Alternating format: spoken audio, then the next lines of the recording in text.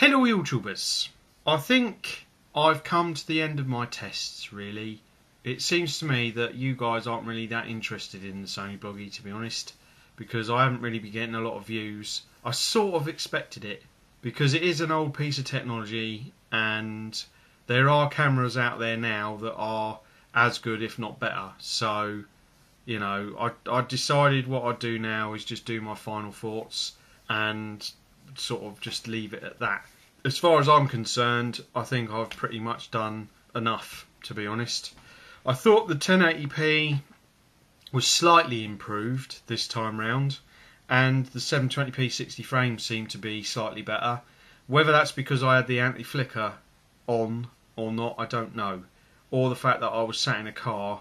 Um, it, there were still a few shaky elements to it, but I did think it did. It was an improvement, I think. Good stuff, bad stuff. We'll start with the bad stuff first. The hunting issue, the fact that it sort of goes backwards and forwards in the background while I'm doing my video, could be an issue for some of you guys. For me, it's not an issue because my face is still in focus, so it doesn't really bother me. One of the big things that I had an issue with was there's no there was no clock in the dual display. So even though I could see myself recording, I didn't know how long I was recording for basically I had to use a stopwatch in order to be able to see how long I'd recorded for. So there is a way around it.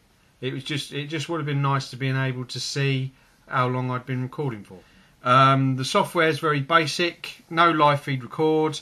The HDMI settings on the TV is basic, and no AV cable. So if you haven't got a HD TV, then you're restricted to watching it on your computer unless you burn it onto a CD. There's only 4 gig on board and there's no memory card slot. So if you take it on holiday, you're going to have to take some form of like a laptop or something like that so that you can transfer the files over and continue to record. Um, plus, you'll need all of the sort of extension leads and stuff to be able to charge it off the laptop. The other big gripe that I had, because of the iPhone effect, which basically is where you have the two dark lines down the side and a little bit in the middle. If you record, you're doing it like that. That's what that's what happens. So to get a full HD video, you've got to record it like that. Now I'm holding it how I would naturally hold it, and as you can see, my finger is over half of the picture button. Now one of the problems that I've had is that every now and then I'll press that by mistake and I'll take a picture which I hadn't planned on taking in order to get around that, basically, I've got to hold it right at the edge, which obviously makes it unstable, and then I worry that I might drop it. Having that button that big, to me, just seems like a, a, a bit silly, to be honest. If it was me, I would have halved that button, and then you could have had enough room to hold it properly and not worry about dropping it. I mean, that's one of the reasons why I've got this on, because I worry about dropping it, see? Um, so that's the bad stuff. Now the good stuff. I thought Zoom did pretty well. Okay, it's only four times digital, but I did think it did quite well. Um, the webcam was pretty good, at least as good as the DC one. The audio I thought was was pretty good, a little bit better than the DC one. I thought the close-ups, I, I thought it did quite a good close-up, considering that it doesn't have macro. I did think that it did do quite a good job. And when you combine that with the zoom, that did make quite a difference. The low light was okay, but vastly improved by the flash. I did like the flash. I thought the flash did quite a good job. And the fact that you can use the flash while you're recording as well, I thought that was brilliant. I tried the files in Windows Movie Maker for Windows 7, Sony Vegas Movie Studio, and Sony Vegas Pro trial version, and Windows Movie Maker in XP. The only one it didn't work in was Movie Maker for XP. So if you've got XP and you've got Windows Movie Maker, you're going to have to get yourself either some editing software or some form of converter software. The 1080p is the same size as all the other resolutions, which is, pro- is pretty much a standard nowadays. And the zoom worked in the 1080p as well, um, which again is pretty much standard to be honest. So there you go. That's the good stuff and the bad stuff. So what do I think? I think first of all I will say what things I would change. I would get rid of that for a start. and have a USB socket. I would put a timer on the dual display. I would half that button. I would give it a removable battery and I'd give it a memory card slot. And I'd make it so that if you record like that, you get the same picture as if you record like that, which is the full HD picture. Um, and then that would be pretty much it, to be honest. It is a nice little camera. Um, for 40 quid, I think it's a major bargain.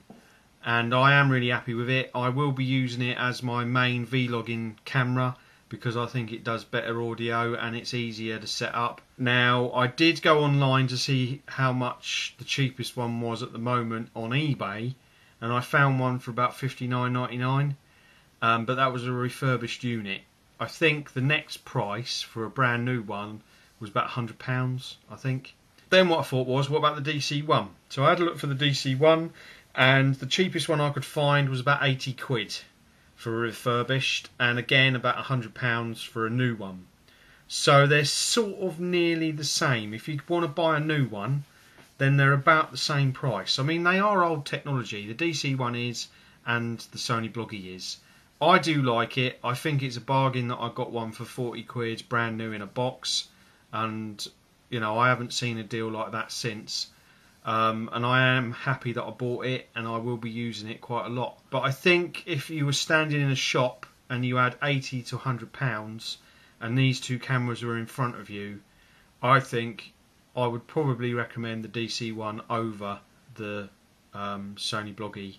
Mainly because you get so much more with the DC one, you know, so many more features. I think the main use for the Sony Bloggie is as what it says as a blogging camera.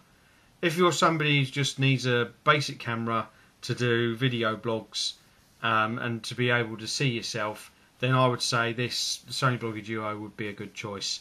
If you're somebody who needs it for holidays, video in sports, and sort of vlogging as well, and product um, reviews and stuff like that, then the DC1 or DC2 or any of the other cameras that are out, the new ones that are out, I think would be probably a better choice.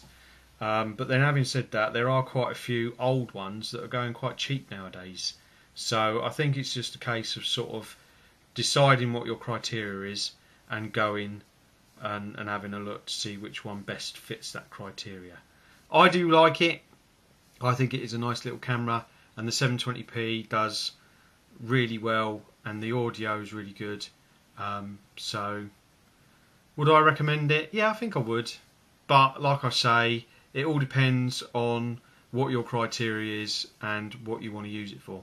So there you go. That is my final thoughts on the Sony Bloggie Duo. I would recommend it, but I'd also say if you want something that's more that you need more features with, then the DC1 or DC2 from Panasonic would be um, a good choice as well. Hope you enjoyed this video. Hope you've enjoyed the test that I've done.